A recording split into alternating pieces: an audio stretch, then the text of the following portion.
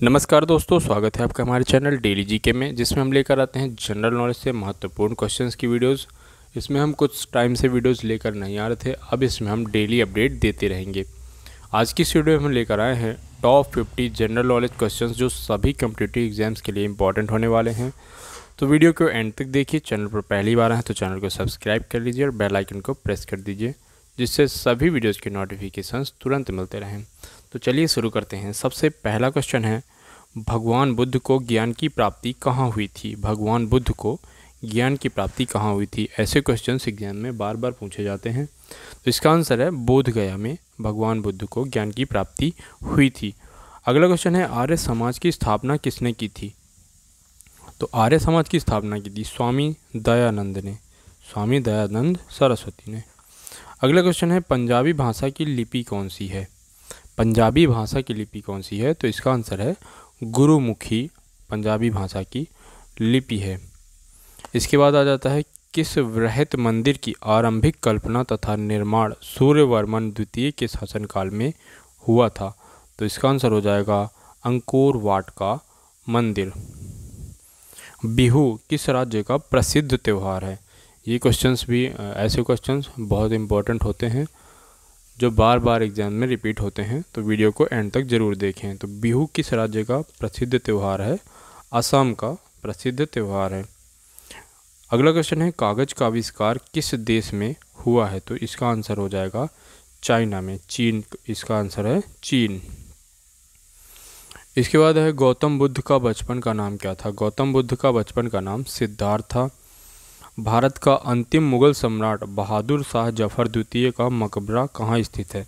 तो ये है रंगून, म्यांमार में। अगला क्वेश्चन है, अहमद शाह अब्दाली ने भारत पर कितनी बार आक्रमण किया था? तो इसका आंसर हो जाएगा, आठ बार आक्रमण किया था। नादिर शाह ने भारत पर आक्रमण कब किया था? तो सत्रह सौ उनतालीस ईस्वी में नादिर शाह ने भारत में आक्रमण किया था। इसके बाद अगला क्वेश्चन है, शिवाजी के समय कितना राजस्व वसूला जाता था? तो इसका आंसर हो जाएगा, भू राजस्व का तैंतीस परसेंट राजस्व वसूला जाता था।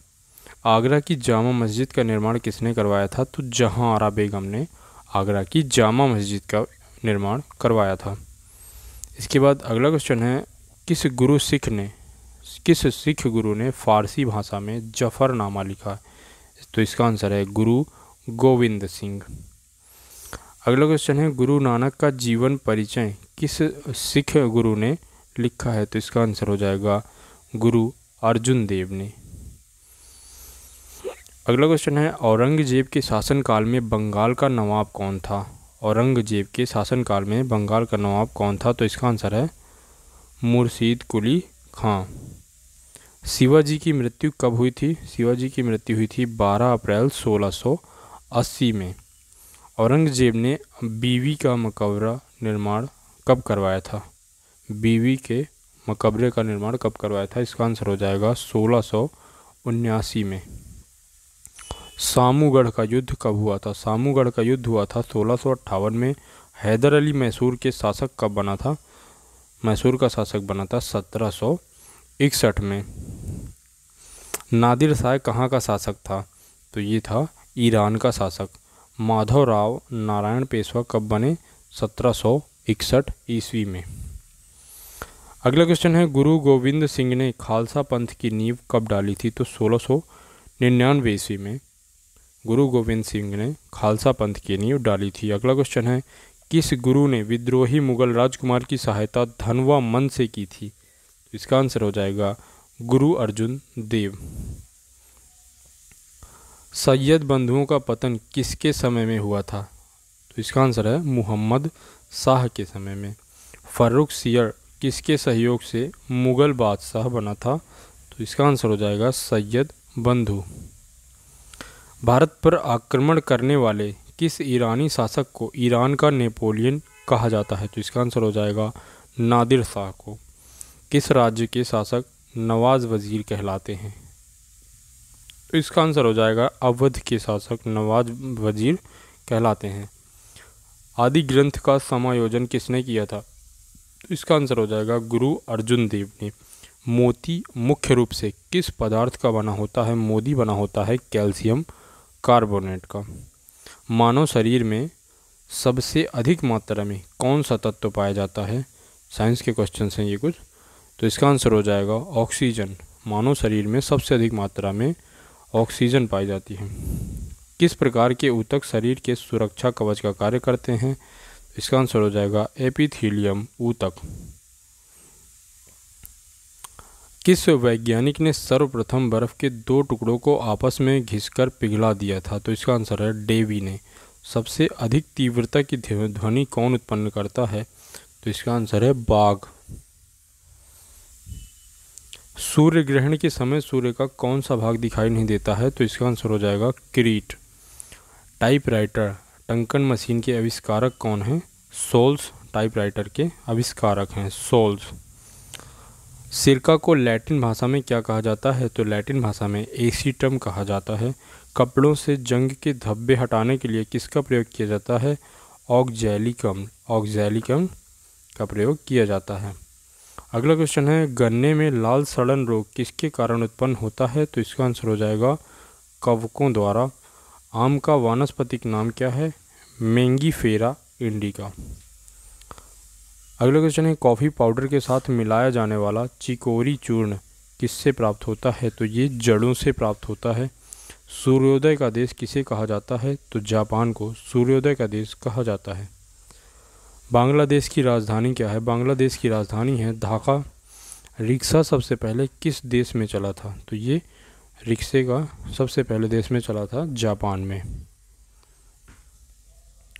अगला है वानखेड़ स्टेडियम। कहाँ स्थित है? वानखेड़ स्टेडियम है मुंबई में।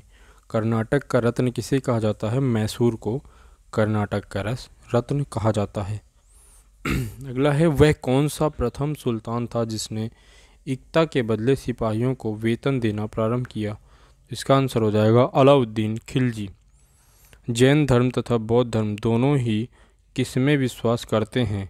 तो इसका आंसर है कर्म तथा पुनर्जन्म के सिद्धांत में विश्वास करते हैं। अगला क्वेश्चन है, छत्रपति शिवाजी का राज्याभिषेक वाला पंडित गंगा भट्ट कहाँ का निवासी था? तो इसका आंसर हो जाएगा बनारस का निवासी था।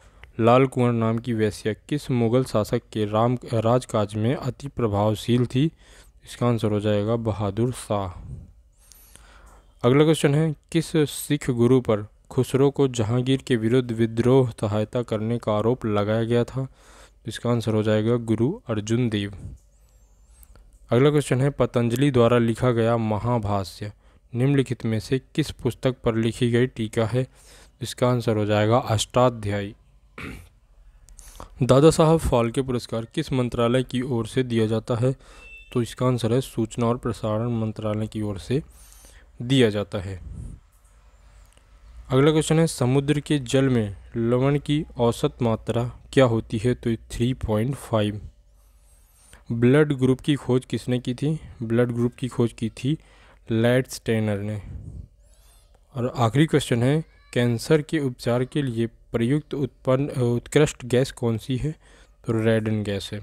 तो ये थे इंपॉर्टेंट क्वेश्चंस जो सभी कम्पिटेटिव एग्ज़ाम्स के लिए बहुत ही इंपॉर्टेंट हैं जनरल नॉलेज क्वेश्चंस ऐसे ही वीडियोस के लिए जुड़े रहिए हमारे साथ चैनल पर पहली बार आएँ तो सब्सक्राइब कर लीजिए और बेल आइकन को प्रेस कर दीजिए, जिससे सभी वीडियोज़ की नोटिफिकेशन तुरंत मिल सकें। मिलते हैं ऐसे नेक्स्ट वीडियो में। धन्यवाद।